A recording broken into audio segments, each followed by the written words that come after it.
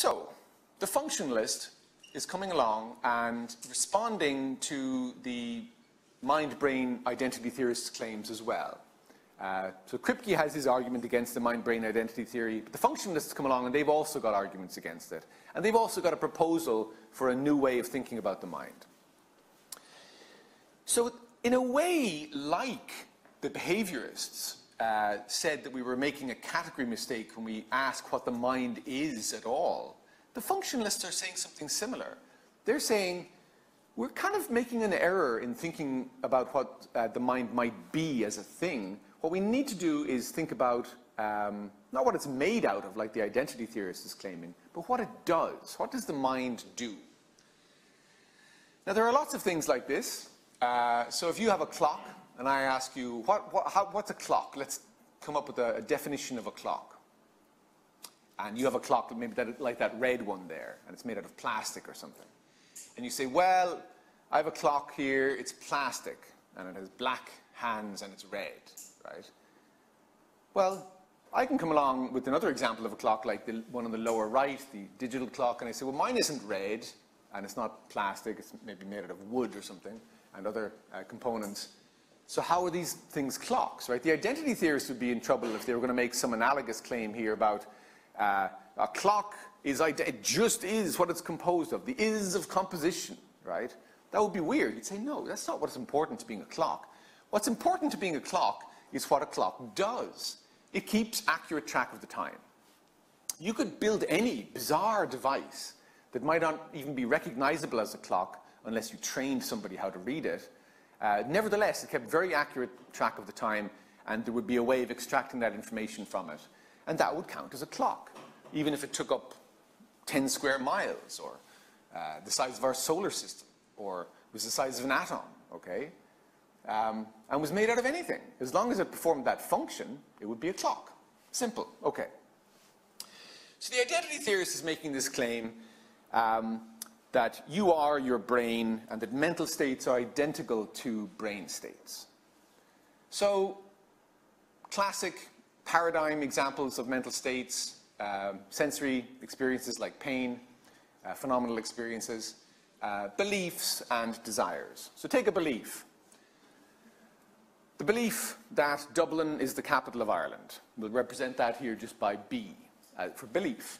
So the identity theorist's claim is that remember now, this is a type type claim. And I mentioned this a few times. So whenever that type of belief is going to be instantiated, uh, it's going to be instantiated by uh, C fibers firing. So that type of belief is identical to that type of neural state or process. Okay. Now here, uh, and I've mentioned this a few times in, in the last lecture, we need to distinguish between types and tokens. So a simple way of doing it, look, uh, we can represent a type here. This is the type, a symbol I'm going to use just arbitrarily for, this, for the type cat, okay? And this is a symbol for the type dog, okay? Now, obviously, uh, we can have many different tokens of that type. There are many individual cats, and each individual cat is a token of the type or the kind cat. And similarly, of course, for dogs. Lots of individual tokens of the type dog.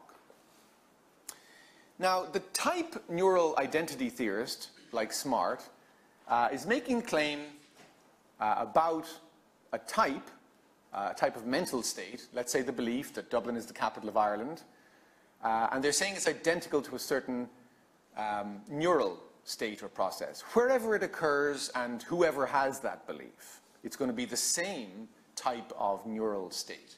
So uh, I have the belief that Dublin is the capital of Ireland, and in my case, uh, I'm going to have C fibers firing, but I originally put these slides together last year when I was teaching in Florida, and uh, there was still some chance that Hillary Clinton would be elected. I haven't got a chan chance to change the picture here, but uh, so here's Hillary Clinton. And she has the belief also that Dublin is the capital of Ireland. Now, in my case, that's C fibers firing, and if the type identity theorist is correct, then in the case of anyone else who has that belief, it's also uh, C fibers uh, firing. And that's what their identity claim consists in. Wherever that belief occurs, uh, it is constituted of, composed of, and identical to, in the strong sense, C fibers firing. Now, the problem with this claim first comes from, you can kind of do it stepwise. It first comes from the phenomenon of neural plasticity. So it seems like when certain areas of a person's brain are damaged and there's a correlation established between a certain uh, function, a certain type of, uh, say, mental state or process and that part of the brain, and that part of the brain gets damaged, very often uh, those mental processes seem to be uh, reliably underpinned uh, by some other part of the brain. It takes over uh, the ability to do that, right? And so you can imagine, at least theoretically here, that let's say poor Hillary's C fibers got damaged somehow, uh, and so she still had the belief that Dublin is the capital of Ireland, but now they're underpinned by B fibers, right?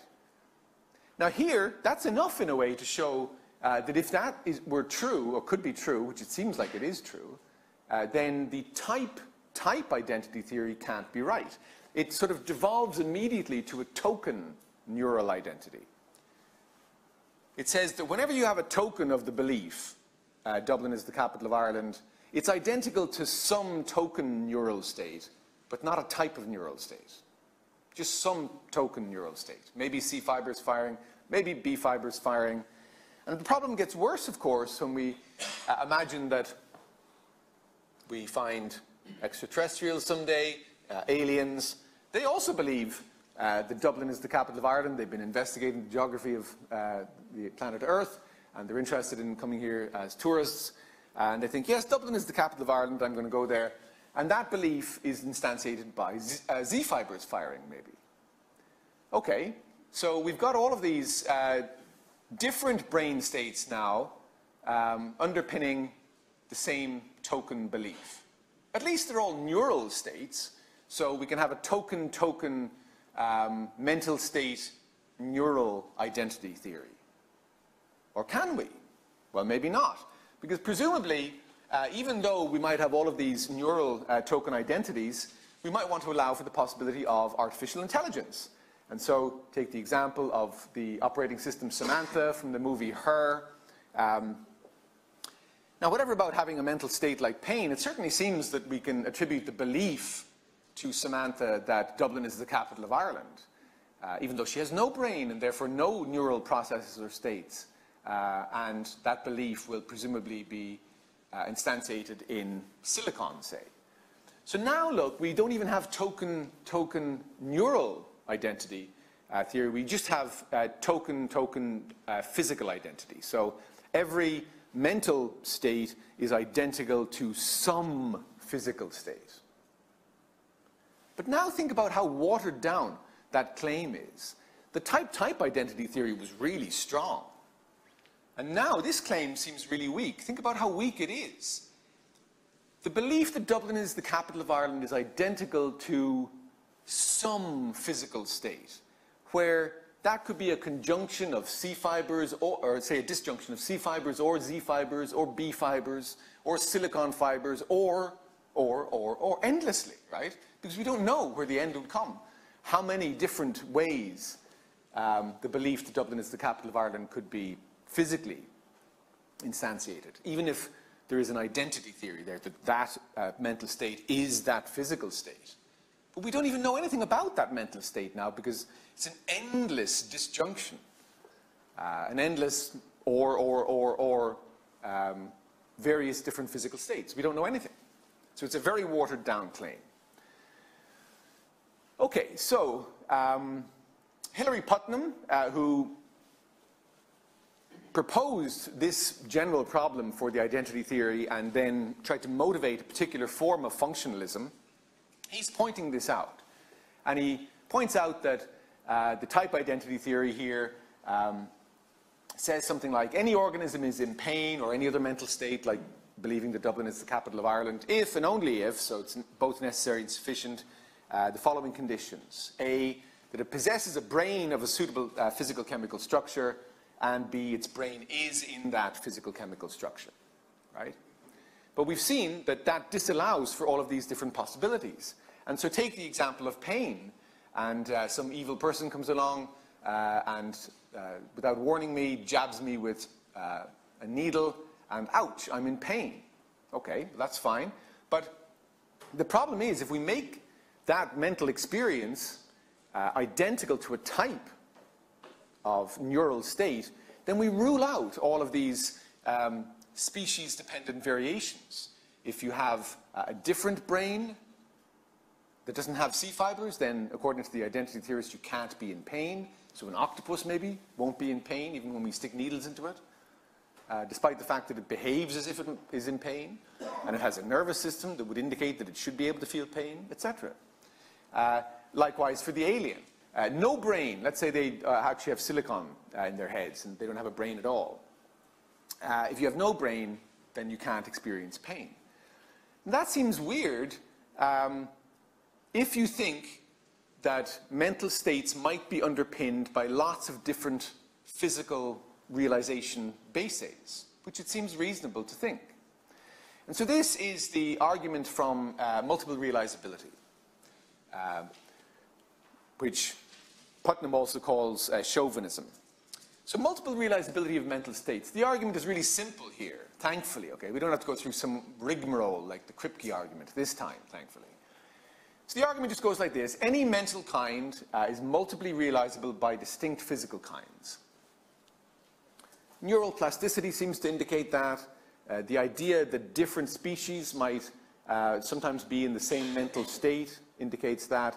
And the possibility that we might want to allow for uh, artificial intelligence to have beliefs and even desires, and who knows, maybe even pain, um, seems to indicate that. So a mental kind is multiply realizable in lots of different uh, physical things.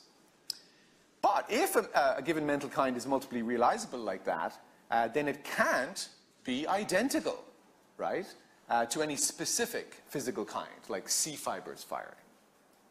If you can realize the thing in lots of different bases, then it's not identical to any one.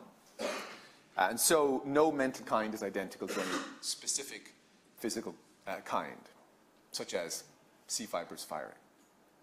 And that's the argument. Why didn't Kripke think of that? It would have made life much easier, right?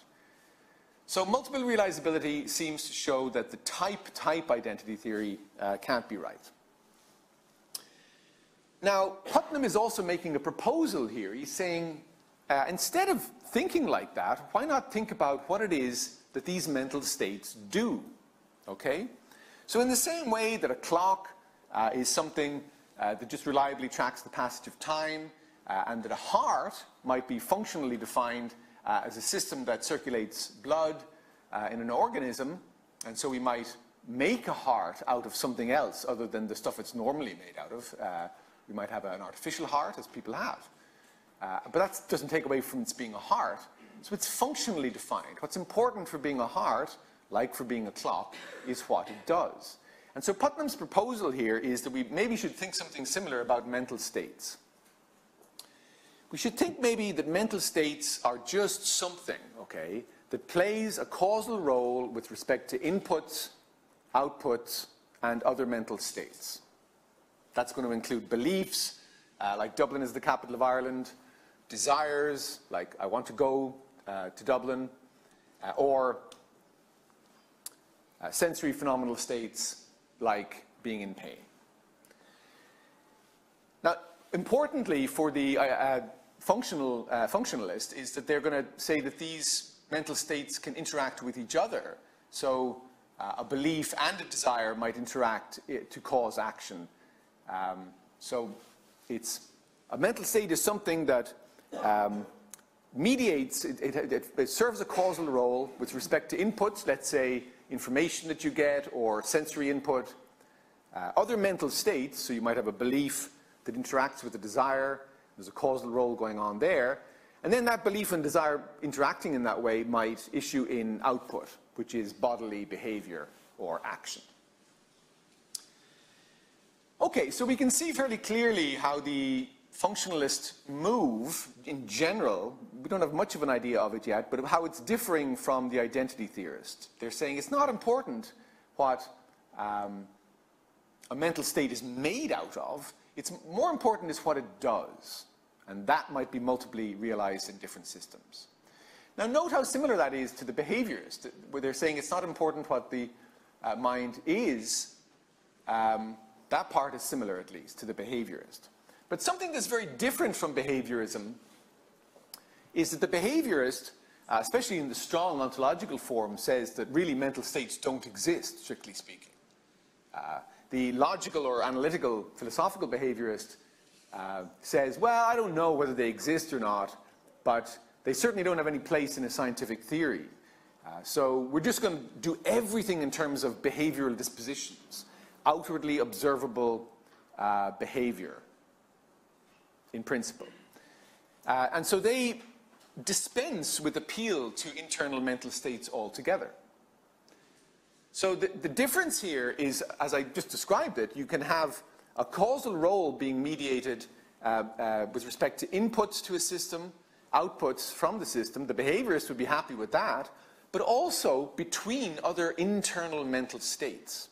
And that's something uh, that the functionalist can uh, appeal to that the behaviorist just can't appeal to because they say that we shouldn't appeal to those things at all. So just to give a, a flavor of this, which will lead into Putnam's idea of machine functionalism, which is the particular kind of functionalism that he wants to motivate, um, there's a wonderful short article which I encourage you to look up and I should post on the Moodle site by Jerry Fodor, a famous American philosopher who died recently. Uh, he wrote it in the Scientific American, I think. So it was kind of not just a, it's not a heavy-duty philosophical article. It's more accessible. It was back in the 70s. And he has this lovely example of uh, a vending machine, Coke machine. So let's say you encounter this object. It turns out it's a vending machine. You're thirsty. You can see that there's drinks inside it, and you want to get them out. But you don't know how this thing works at all. So you do various things. You kick it. Uh, you get like Homer Simpson and you start trying to reach inside and get the thing. Uh, you shout at it, uh, and nothing happens, right? But you're keeping on prodding and poking this uh, entity to see what, how you might get the drinks out. Eventually, you dig inside your pocket because you notice there's a little slot on the thing, seems to be the shape of something you've got in your pocket, namely uh, a dollar uh, coin. So you put in this coin into the slot, and lo and behold, uh, a drink comes out. Wonderful. Well, this is great. Uh, it seems like we can now establish our first law of Coke machine behavior. And notice that this is an entirely behavioristic law. The behaviorist would be totally happy with this law. It's a very simple law. If you give the input $1, you get the output, give a Coke, right? And you can then ascribe a disposition, a behavioral disposition to this entity. You can say, this thing is disposed uh, to give you a Coke when in the presence of uh, a dollar coin put into it, right? Great. So you keep on experimenting. You say, well, that worked nicely, so maybe I'll just stick in another coin. You find you have a 50 cent coin in your pocket. You put that in, nothing happens, right? So you start shouting at it and so on. You do various things until eventually you put in another 50 cent coin. And this time, odd, nothing happened the first time you put in a 50 cent coin, but this time a Coke comes out. Erratic behavior, right? This thing gives you a Coke when you put in a 50 cent coin sometimes, but not at other times.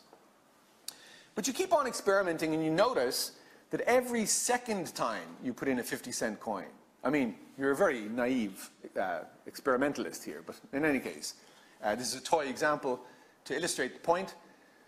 Every second time you put in a 50 cent coin, you get a Coke. But notice what has, has to happen here. The machine, in order for that to be true, must have some way of internally representing that since the last time uh, it dispensed a Coke, it has received a 50 cent coin. In order to know that when it receives another 50 cent coin, it can then give you a Coke. So we have to have something a bit more complex here for our second law of Coke machine behavior. So we have to have a table like this. S1 and S2 here represent uh, states, internal states of the machine. Uh, and then you've got different inputs. We'll bracket out kicking and everything like that. Didn't work anyway. So uh, when you give a dollar input, you get a Coke. That's fine. That's the, the behaviorist law stuck in there. Um, at the top, if you get a 50 cent coin um, and you're in the initial state, S1, you go to S2. And then when you get another 50 cent coin when you're in S2, you give a Coke and you go back to S1. Now that uh, is a very simple way of representing what a vending machine actually does, which is somehow represent the fact that it has gotten uh, uh, uh a 50 cent coin since the last time it dispensed a Coke. And then, of course, you have to allow for uh, what happens when uh, you give a dollar input and it's already in state two. Well, there you have to give a Coke and you've gotten too much money, so you have to give back 50 cents change and also go back to state one. So this is a very simple entity, of course, a vending machine, and this is a fairly simple set of uh, uh, laws describing its behavior. But the behaviorist, to show how impoverished the behaviorist view is in a way, the behaviorist view cannot even successfully describe the behavior of a vending machine. Because a vending machine has to have internal states to which we can appeal uh, in explaining its behavior as we've done here in a machine table. So, good luck in trying to uh, explain human behavior in purely behaviorist terms.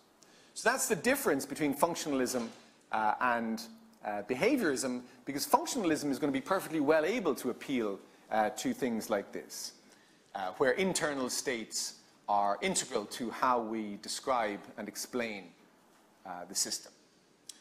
Okay, so you remember the joke from before, you're fine, how am I? The main point here is just that modern functionalist psychology and cognitive science uh, has no problem with internal mental states, whereas behaviorism does.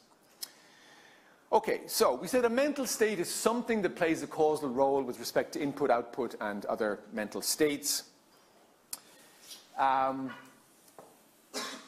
here, the causal role um, of a mental state is the set of causal links uh, that it has with sensory input and also other input that you'll get as a uh, from sensory input, like informational input of certain kinds, uh, other mental states, and behavioral output. And the causal role here is just a job description. Uh, what's the purpose of a given mechanism? So we define what it is to be a heart just by what it does, what its purpose is, and so you can have all kinds of plastic hearts here, uh, in addition to the ordinary hearts we have. Um, same for clocks. Uh, and of course, we can describe a vending machine in this way. Now, in exactly the way that I had a machine table up there for the vending machine, Putnam wants to uh, have a theory of human behavior and psychology uh, that is uh, exactly similar in a way. He wants to actually write out a machine table, as it were, for every um, human uh, mental state.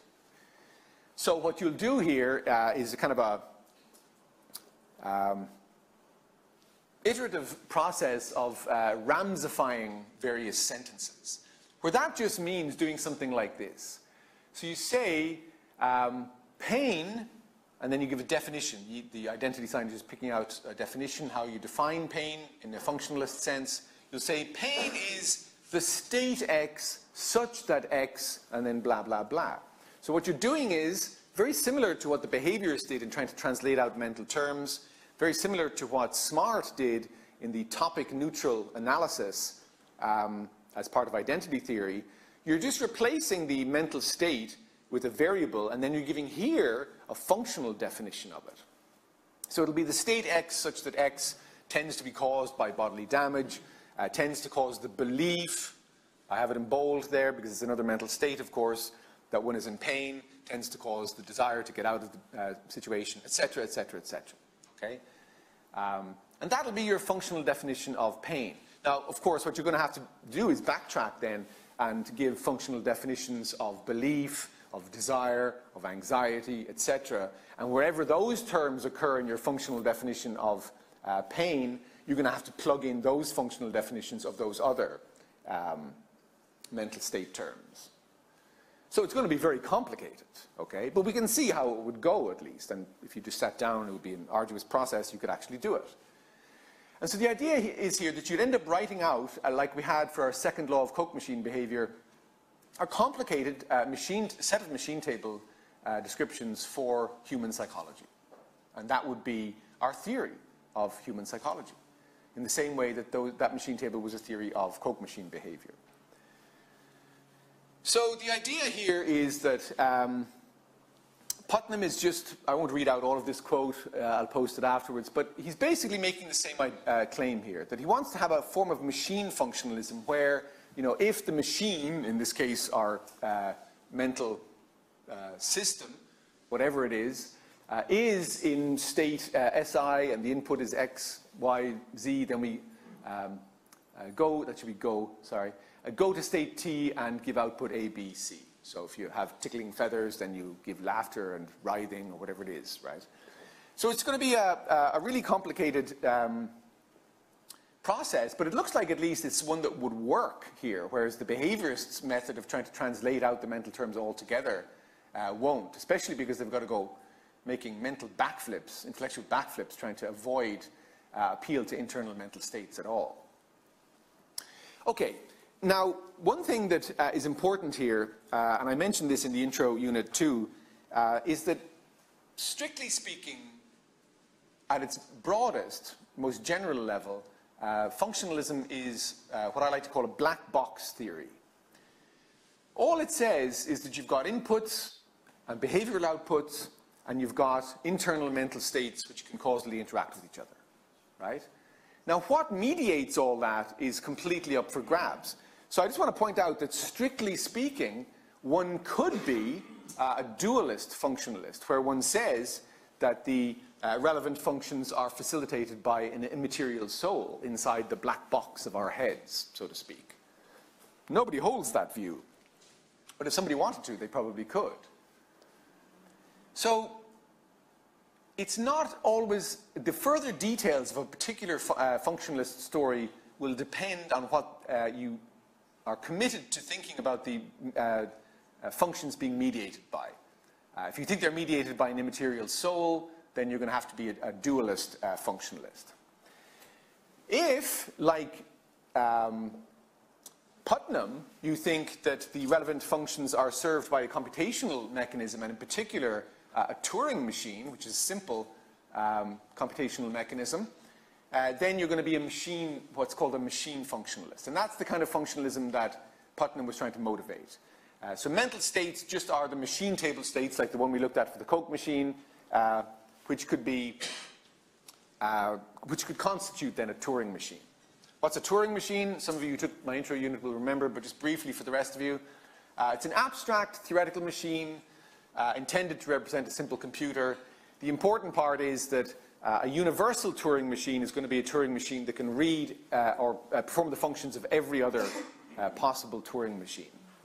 Um, and what matters here is the machine table itself, which is what's over on the right here. You could make a, a, a Turing machine out of the thing on the left here, where you have the symbols on a tape and you've got a reader for them uh, and so on. But it's, the reason it's functionalist theory is it's not important what instantiates the machine table. Uh, what's important is the machine table description itself. Uh, and that could be made up by uh, lots of different kinds of objects. So that's why it's, um, it's functionalist. All, these machine table states are multiply realizable in the way that it seems our own mental states are as well. Okay, so that's the, the view that, that, um, that Putnam is trying to uh, push. There are more recent um, versions of that kind of view where uh, they, functionalists abandon the appeal or the reliance on uh, Turing machine, uh, machine table states, but they still appeal uh, to some kind of idea uh, that the mind is a computer. So they, uh, they rely on computationalism, which is roughly speaking the view that the mind is essentially a computer, that we have internal mental symbols in some way over which there are uh, operators that, that uh, tell them how to work. Uh, and so the inputs and outputs here uh, are going to be symbolic, uh, and maybe not purely symbolic because uh, you get sensory input and you get behavioral output out of it. Um, so the, the main move is here just not to appeal to Turing machines solely, but to have a broader idea of, of computation. Now, just to give you an idea, because it's going to be important for when we come back after the Easter break, two other types of functionalism, uh, and the second of which is the one we're going to look at in more detail when we come back. But first, role functionalism. So you might think, well, look, if mental states can be multiply realized in all kinds of different physical realization bases, then even in multiple different kinds of neural bases, then it's really difficult to see how you could have any laws at that physical level, say neural laws, laws of neuroscience, that could describe human behavior. The relevant laws would seem to have to be at a higher level, at the actual level of psychological descriptions, stated, as it were, in terms of beliefs and desires and things like that. And so Jerry Fodor has this view where he argues for the autonomy of psychology as a science, that the laws of psychology are not derivable uh, from the laws of neuroscience. So in order to uh, fully describe uh, human mentality and human behavior, we need to have uh, autonomous psychology as a science where uh, we have laws that are stated at that level. Why? Well, because uh, those mental states can be implemented in all kinds of different brains. So how could we ever have one neuroscience that would describe them? Okay, we couldn't if multiple realization is possible. So that's the role functionalist's view, and what we're going to look at when we come back is uh, a different kind of uh, functionalism that sort of ends up reverting a little bit to the identity theorist's idea, and that is realizer functionalism. So the realizer functionalist says, hang on a second, um, if you're a role functionalist and you think psychology is an autonomous science, then it seems like you're going to have to say that neuroscience just isn't interesting when it comes to the mind. But it seems like neuroscience really is interesting and it tells us a lot about the mind. And so the correlations that we're noticing between mental states and particular neural states, uh, even token states, let's say, uh, that are in human beings, seem to be important. And so uh, realizer functionalists will say, fine, we'll uh, define uh, the functional role uh, at, at, the mental level in terms of beliefs and desires and everything, but then our theory is going to be grounded out in cognitive neuroscience uh, by looking at what those states described at the mental level are realized in, uh, in human brains. And so you can see that the realizer functionalist uh, is not going to be able to allow for radical multiple realizability they might be able to allow for neural plasticity within humans or something, so it's not a type-type identity claim. But they're not going to be able to, they're going to have to say, well, if we want to understand the behavior of octopuses or something, then we're going to have to have uh, octopus psychology um, that would be grounded in cognitive neuroscience of octopuses, et cetera, et cetera, et cetera, right? So it's going to be limited to humans. Uh, but that's what we're going to look at when we come back. Now, just briefly, and this is obviously going to be like radically briefly because I've got what? Three minutes left or something. The objection, Ned Block's objection to uh, functionalism. We'll talk about it more in the tutorial. I'm not going to read out this whole thing, but I'll post it here so that you've got the relevant uh, passage. The objection here is uh, he uses a particular thought experiment. He says, okay, if all that's important for being uh, in a mental state, for a mental state to exist, is that uh, is the, this functionalist description, uh, then we might be able to realize that functionality in the same way that we make realize clocks out of all kinds of different uh, materials. And uh, you could make a huge clock the size of uh, the planet or something uh, that looked very strange. Similarly, we might replicate various human mental states by, he takes the population of China because at least it's big enough to possibly or plausibly um, performed all of the functional roles that uh, our neurons do or something like that. Um, so he says, right, take the population of China, and they've all got two-way radios, and they're communicating with each other, and there's a big satellite in the sky that everybody can see that gives them instructions. Um, and then you spell out the story so that it's supposed to be a functional, uh, all the causal roles with respect to input, output, and interaction between mental states that can occur by the two-way radios, etc. All of that it seems like you could implement, if you give a functional description uh, of uh, some mental state and a series of mental states, then you could implement all that in that machine that you've built here out of all the people in China, two-way radios and a satellite in the sky. But the question Block asks us then is, would that system, the entire system made up of the people, the two-way radios and the satellite, would it suddenly sort of spring into consciousness and go like, whoa, this is great. I'm suddenly alive. And this is wonderful. I like the view of the sky, by the way, or something, right? Um, it seems weird, he's suggesting at least, to think that that system uh, would now suddenly instantiate especially phenomenal states uh, like the experience of what it's like to see something uh, or the experience of pain. Uh, but strictly speaking, it seems like for the functionalist, that's all that's going on in any given mental state, then it's hard to see uh, why we shouldn't conclude that that thing could be. Um, now, of course, unless you actually try and do it, you don't know whether the thing is, and ask it, like, hey, are you conscious? And the thing says, yes, I am. Um, but of course, it might say that, and we'll come back to this later on when we look at Chalmers' zombie argument, which is structurally identical to this. Uh, it's, a, it's a general move that Block is one of the first to make against the functionalist claim. If you're just describing all mentality by causal roles um, and mediation of those roles, then it seems like a system could do all of that and yet not have the relevant mental states, especially phenomenal states, like what it's like to see red or something. Um, so I just want you to think about this uh, thought experiment um, and his. Uh, basically, the objection is look, it doesn't seem like there'd be anything it's like to be that uh, system. Um, you can go over those slides yourselves and we'll talk about them more. But that's the objection. We'll come back to that objection. We'll talk more about it, especially when we get to Chalmers. Uh, but when we come back, we'll talk about the, uh, the causal theory, which kind of gets back to a type of identity theory.